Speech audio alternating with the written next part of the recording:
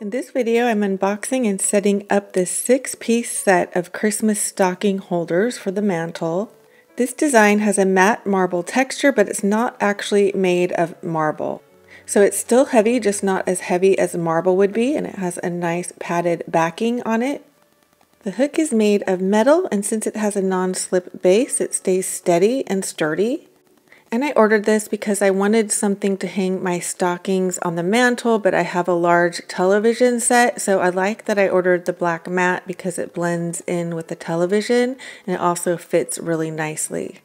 It's four and a half inches long, two and a half inches wide, and about 1.77 inches thick.